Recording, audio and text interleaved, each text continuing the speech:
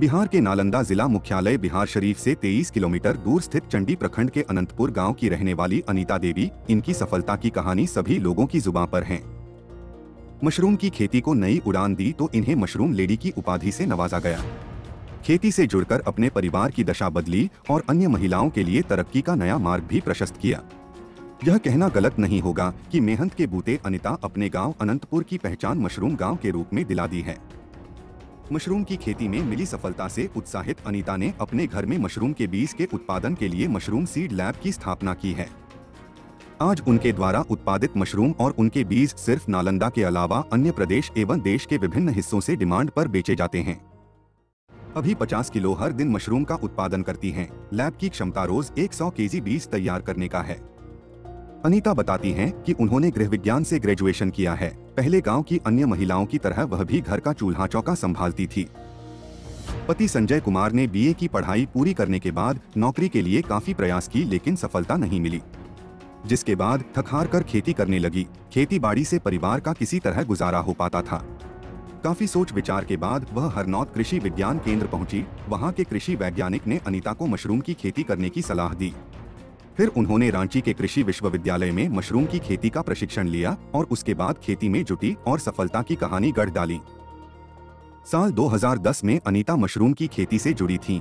आज इनकी अगुवाई में अनंतपुर और उसके आसपास के गाँवों की हज़ारों महिलाएँ अपने परिवार की आर्थिक स्थिति को बदल रही हैं।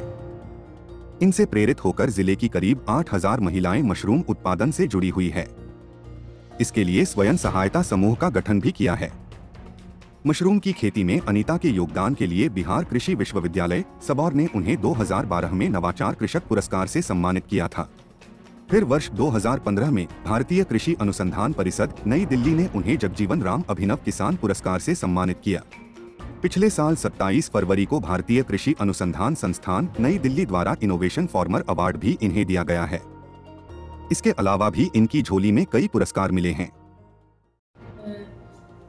इनकम का सोर्स नहीं है एक तरह से उनको भी इनकम का ज़रिया बनाया चार दीवारी के अंदर रहकर वो बैठकर कुछ कर नहीं रहे थे उनको भी एक व्यवसाय के रूप में मिला उसको भी पैसा अर्न करने का मौका मिला। तो इस सारे इस तरह से हमारा ये सिलसिला है जो चलता आ रहा है और आगे चलता रहेगा। कितने लोग जुड़े हुए हैं?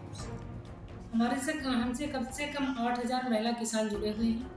हमारे संपर्क में है जिनको जिस चीज़ की ज़रूरत होती है उनको हम हेल्प करते हैं चाहे तो प्रशिक्षण की हो बीज की हो मशरूम बेचने का हो या चाहे कोई भी क्षेत्र हो मशरूम में। कहाँ कहाँ मशरूम की सप्लाई होती है?